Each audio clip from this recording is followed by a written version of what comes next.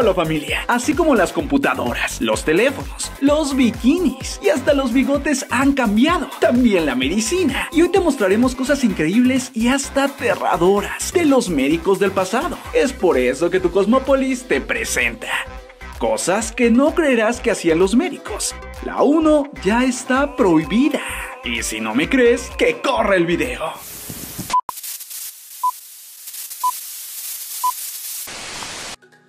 5. Los médicos tomaban la orina del paciente. En la actualidad, para conocer si una persona tiene diabetes con un simple pinchazo en el dedo y después de unos minutos, se puede saber si está o no enfermo. Pero en el pasado no era así. En la antigüedad, los médicos tomaban la primera orina del paciente en el día para saber si éste tenía diabetes o no. Si la orina sabía dulce, confirmaba la enfermedad en el paciente. 4 te dejaban que animales te chuparan la sangre. En el pasado, los médicos creían que drenar o sacar la sangre de los enfermos ayudaba también a sacar la enfermedad, y la forma de quitar esa sangre era con sanguijuelas, las cuales chupaban la sangre de los enfermos. Estos animalitos tienen más de 300 dientes afilados, y hace 200 años eran tan populares que se ocupaban más de 42 millones de sanguijuelas en tratamientos médicos. Pero esta práctica poco a poco desapareció. El motivo, sencillito. Tras 4.000 años de ocuparse, los médicos se dieron cuenta que desangrarse no ayudaba en nada a los enfermos. 3. Los médicos no se lavaban las manos. En la Edad Media, uno de cada dos niños que nacía moría y una de cada dos madres en el parto también lo hacía. Pero, ¿por qué? Bueno, la respuesta era más sencilla de lo que se creía, pero pasaron varios años para que alguien se diera cuenta. El porqué de las muertes es que los médicos que atendían los partos no se lavaban las manos, ya que no lo creían necesario. Así que cuando estos médicos atendían un parto, infectaban con los microbios y bacterias de sus manos, las heridas de la madre al dar a luz, o enfermaban al bebé recién nacido, ya que hay que recordar que en esta etapa son muy vulnerables a las enfermedades. Es por eso que los médicos en la Edad Media mataban a miles de bebés recién nacidos y a madres sin darse cuenta. 2. Te escuchaban el corazón pegando su oído en la espalda.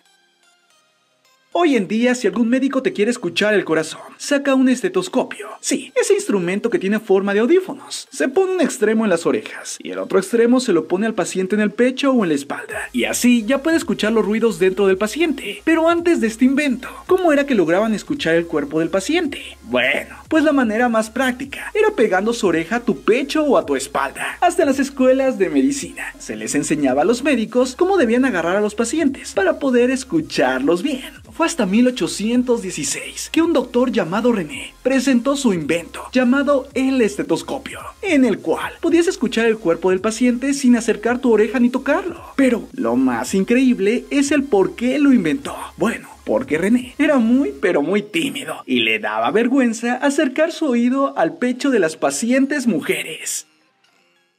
1. Te sacaban el cerebro.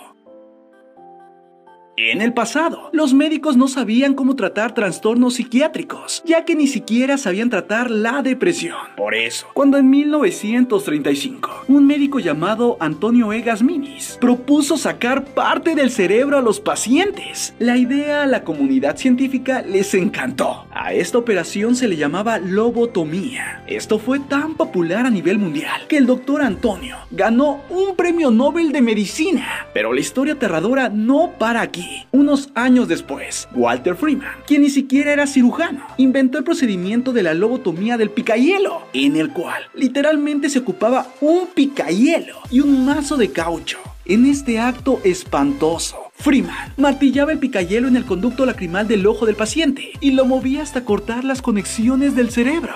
La lobotomía fue muy popular entre 1940 y 1960 y fue ocupada en 50.000 personas. La última lobotomía conocida fue en 1967. Hoy en día está prohibida y la medicina la cataloga como una aberración. Porque ¿a quién se le puede ocurrir que una persona si está deprimida hay que quitarle el cerebro? Con esto ya conoces una parte del pasado oscuro de la medicina. Esto me hace reflexionar. ¿Qué tal si dentro de unos 100 años los procedimientos médicos que hacemos ahora aterran y perturban a las personas del futuro? Si te gustó este video dale like, compártelo y suscríbete a tu Cosmópolis. Eso nos ayudaría muchísimo. Además conoce nuestro canal de Tops Inteligentes llamado Top 6. Te encantará. Por el momento es todo familia. Saludos medicinales y muchas bendiciones.